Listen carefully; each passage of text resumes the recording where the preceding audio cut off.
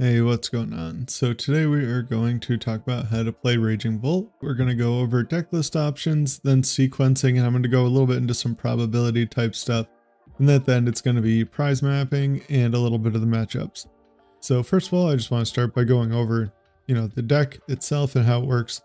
Raging Bolt's a 240 hit point basic dragon Pokemon with no weakness and has an attack for a colorless burst roar, discard your hand, draw 6, and Bellowing Thunder for lightning fighting, it does 70 for each energy you discard from any of your Pokemon. So that's any type of energy. So to accelerate extra energy into play, we play Teal Mask Ogerpon. It has an ability, Teal Dance. Once during your turn, you may attach a grass energy from your hand to this Pokemon. If you do, draw a card. And for 3 grass, it has an attack that does 30 plus 30 more damage for each energy attached to both active Pokemon. So this is good for hitting into grass weak Pokemon or knocking out just generally low HP Pokemon that we don't want to discard energy to knock out with Raging Bolt. We have Sandy Shocks as our one prize attacker, does 20 plus 70 more damage if we have at least 3 energy attached to our Pokemon. So this can be good for knocking out Mimikyus or just like evolving basics like Charmanders or Ralts. And for our support Pokemon, we have Squawkabilly, Fezandipiti, and Greninja. Squawkabilly lets us discard our hand draw 6 on the first turn. Fezandipiti is a great addition to this deck. If one of our Pokemon was knocked out during our opponent's last turn, we can draw 3 cards. And then Greninja just discard an energy draw 2.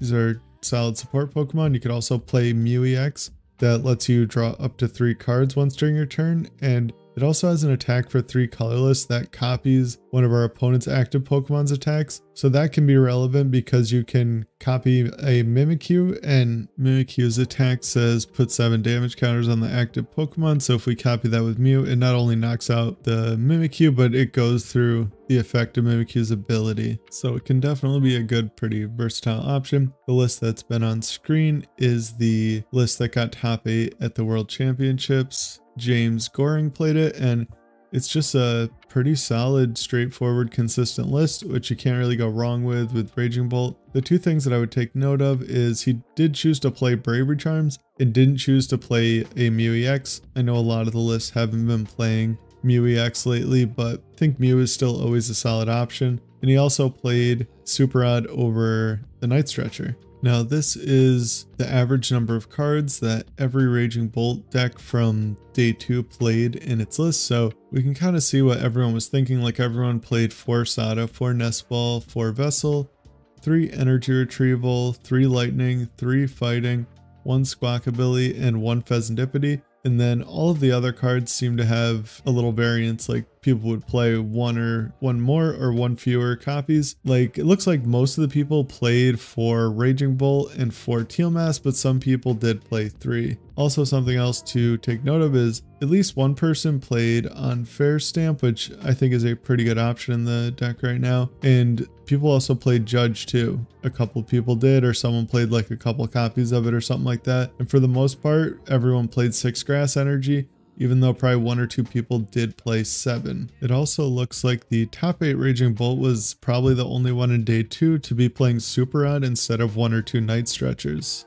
This is my Raging Bolt list. Now, I only play the three Raging Bolt and three Ogerpon to fit in two Night Stretchers. I really like the versatility of Night Stretcher, especially with cards like Iron Bundle. It also can just be an energy when you need it to draw with Ogerpon or Greninja. And I'm also really shocked that the best performing list at Worlds did not play an Iron Bundle because that card seemed so necessary in the deck to start off the game with, you know, taking two prizes. I'm also playing unfair stamp instead of prime catcher, which I do think is pretty good in aggressive decks like this right now.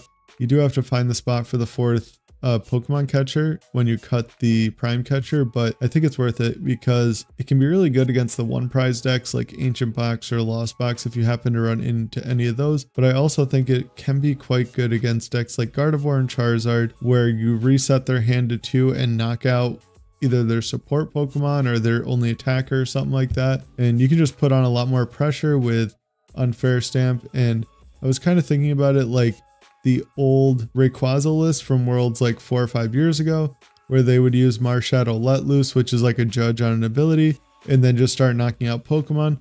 It is obviously not the same because you can't unfair stamp your opponent like before they get to even play a supporter card, but it can be quite effective in a number of matchups.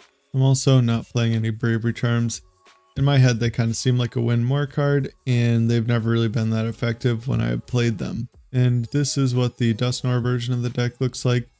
The Pokemon catchers were cut for a 101 Dusknoir line because they're kind of trying to accomplish the same thing, just fixing the prize trade. And while Pokemon catchers will let you bring up a two prize Pokemon off the bench to take two prizes, the Dusknoir can let you knock out a one prizer while while also knocking out another one extra later with the Dusknoir line. And as long as you don't have any of your own one prizers in play, it really will not affect the prize trade because your opponent will go down to one prize and they'll still have to knock out a two prize Pokemon to win. Alright, now on to sequencing and stuff. The first thing I wanted to mention is just make sure that when playing Raging Bolt, you always have access to the energy types that you need. Because you are running three types of energy, it can be important to make sure you select the correct ones off of vessels or energy retrievals. Like don't take all the energy out of your discard pile except grass and then you only have grass to use Sada and then Sada like grass on a Raging Bolt is useless and when grabbing energy out of the deck if you already have a lightning for your Sada grab a fighting and a grass energy so that you have the other type of energy to attach to Raging Bolt and whenever you can for the extra energy grass usually wants to be the selection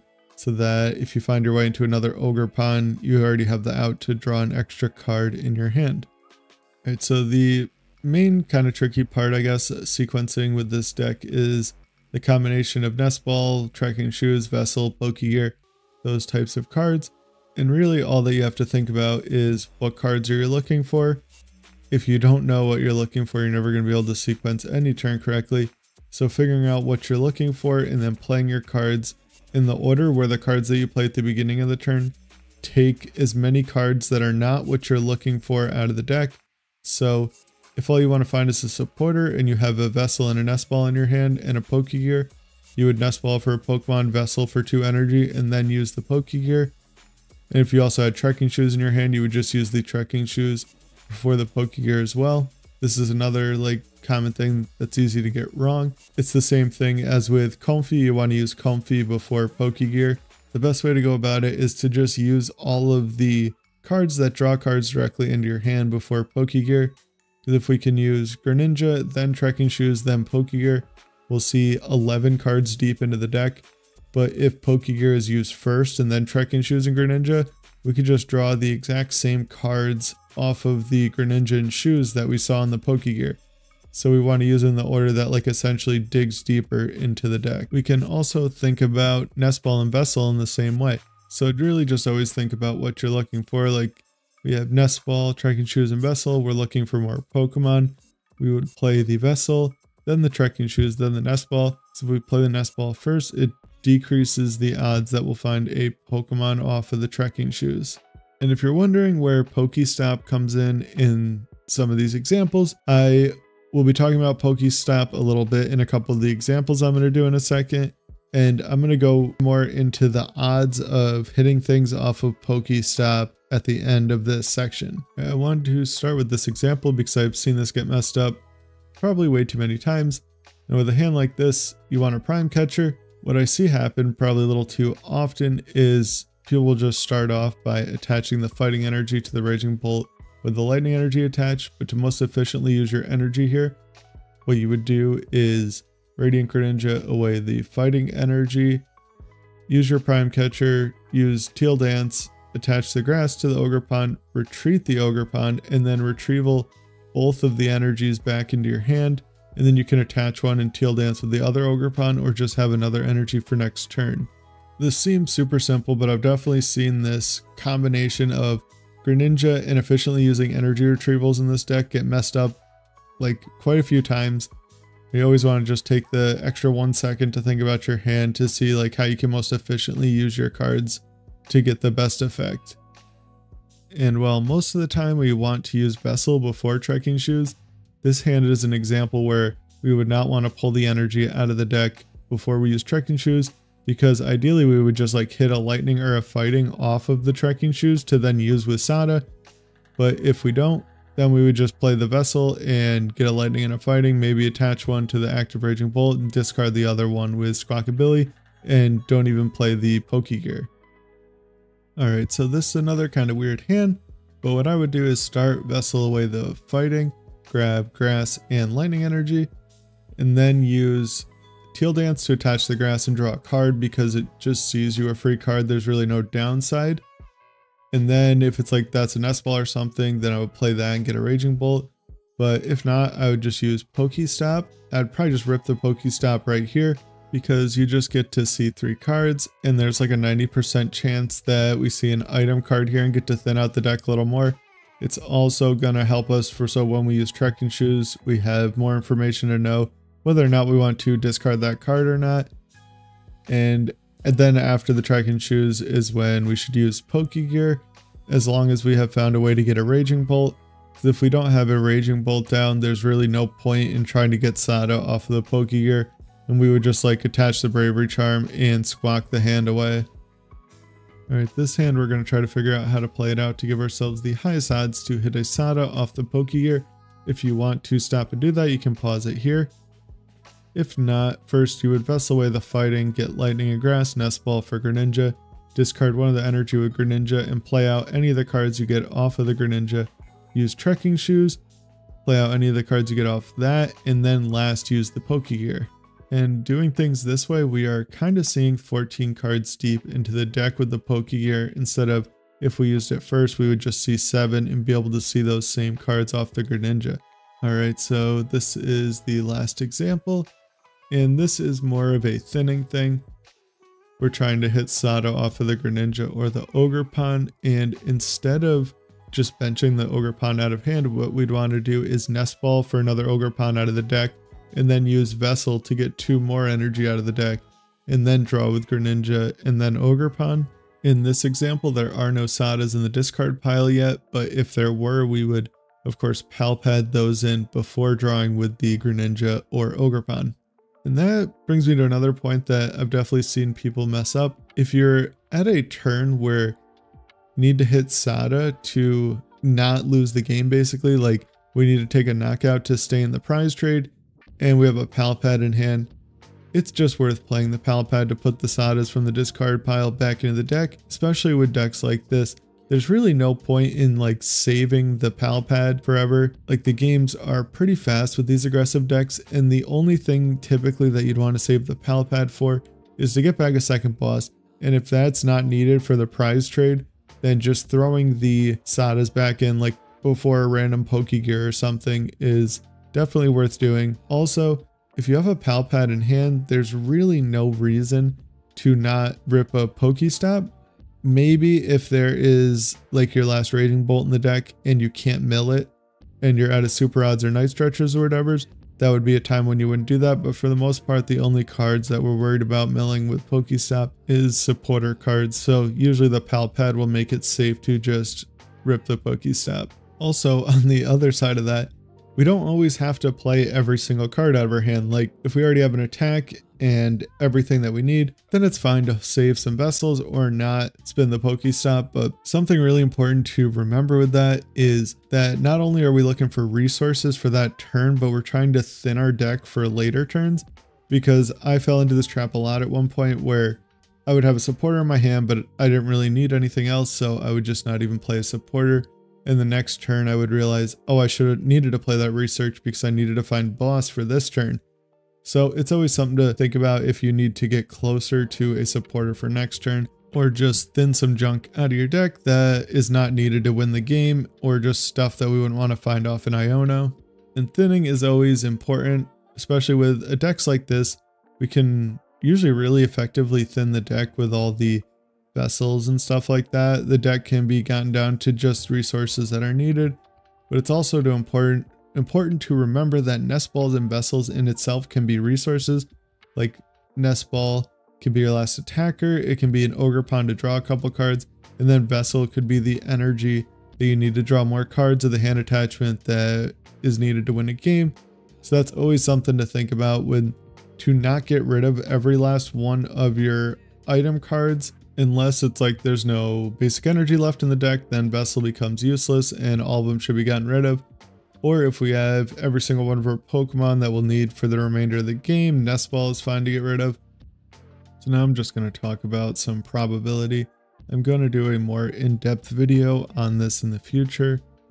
But first of all, for a lot of these examples, I'm just going to be using a 40 card deck because you start the game with like 46 cards in deck and then you play nest balls and stuff like that out of your hand and you know get a few cards out so 40 will give us a good percentage to work off of now the chances of hitting a supporter card that you have four of in the deck off a Pokegear just using it blindly into a 40 card deck is 55.3%.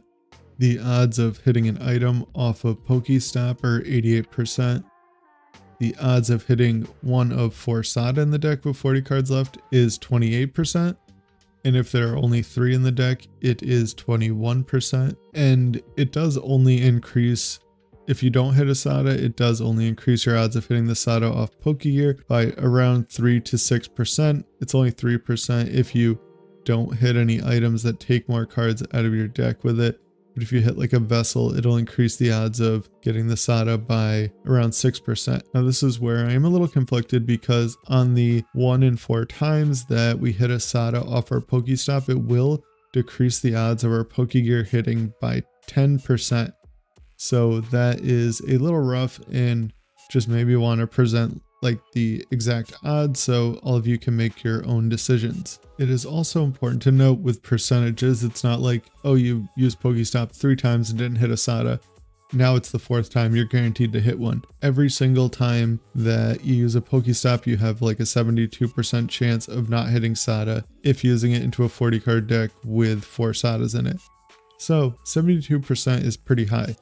That means most of the time we're not going to hit a Sada off it and we will only like reap the rewards of the 3 to 6% increase on the Pokegear. But every once in a while, a Sada will get milled and then it decreases the odds by 10%. So that can definitely be a little rough and is always something to think about.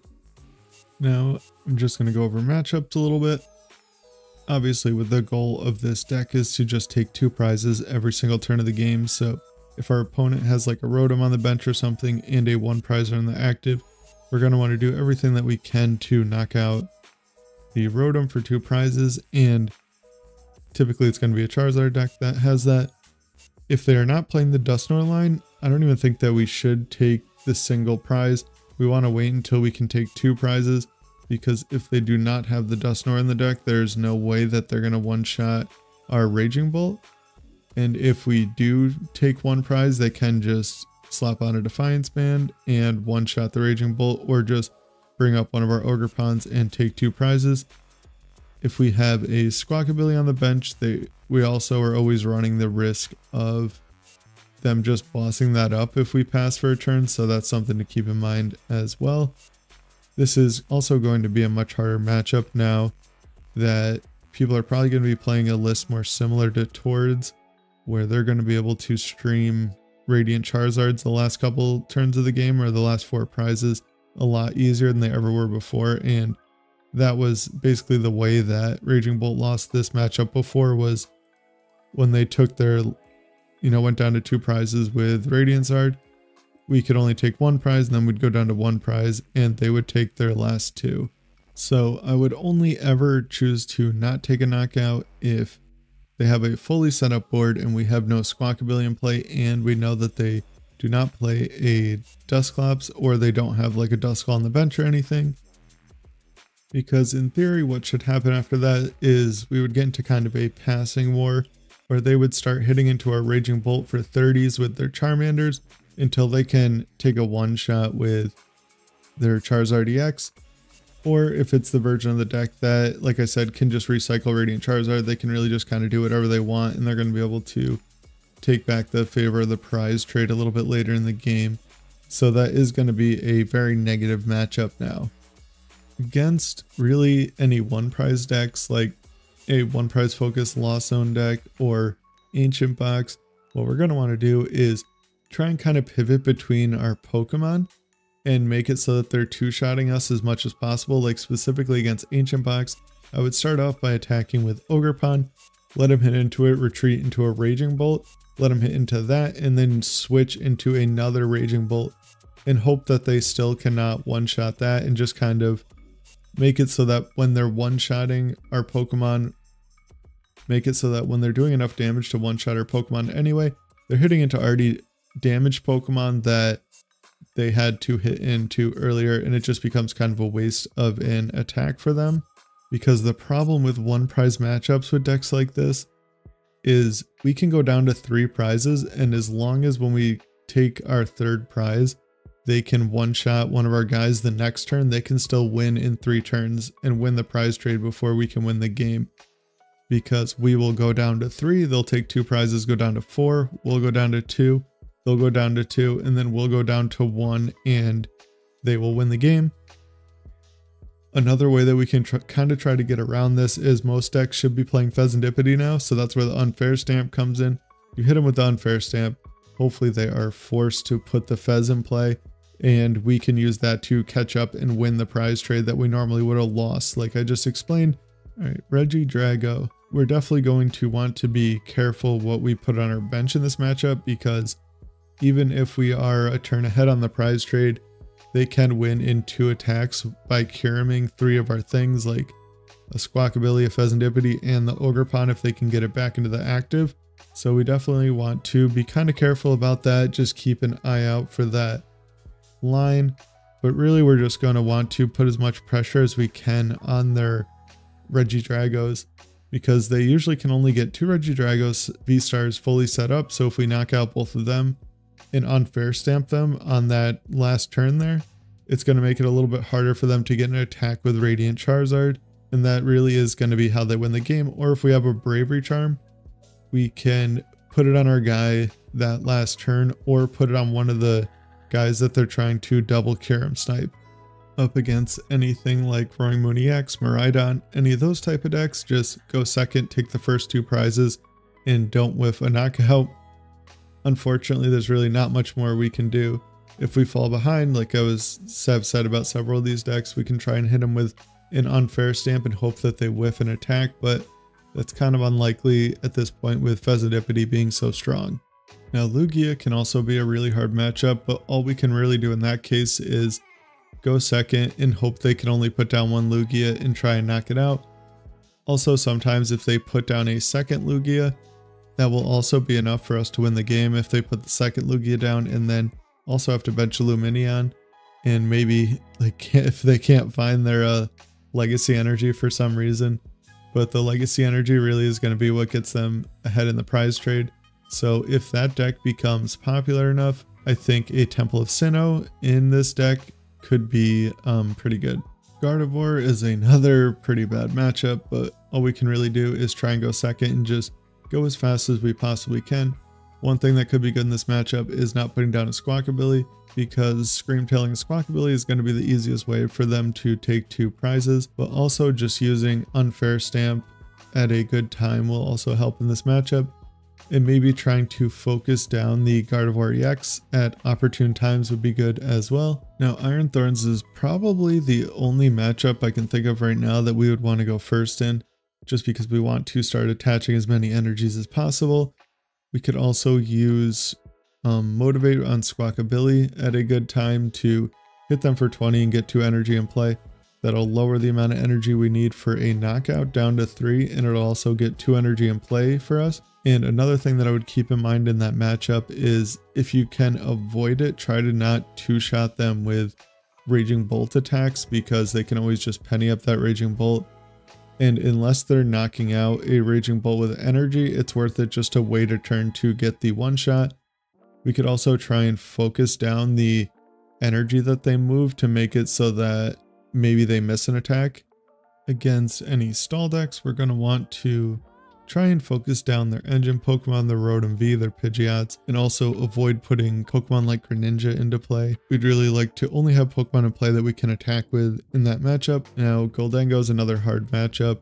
Ideally, I think what we would do is put a Pokemon, a one prize Pokemon into the active, until they evolve up into a two prizer or until they put a two prizer into play for us to knock out and then try and make them take one prize and go down to fives. On the turn that we can take two prizes and go down to four. Because if we go second and just knock out a Gimmighoul they will win the prize trade. All right and that is how to play raging bolt i really hope that was helpful. Um yeah like or dislike comment and subscribe. Getting really close to 500 so that is pretty cool. And 500 and a thousand are kind of like the first goals for monetization and stuff and thanks so much for watch watching and have a good one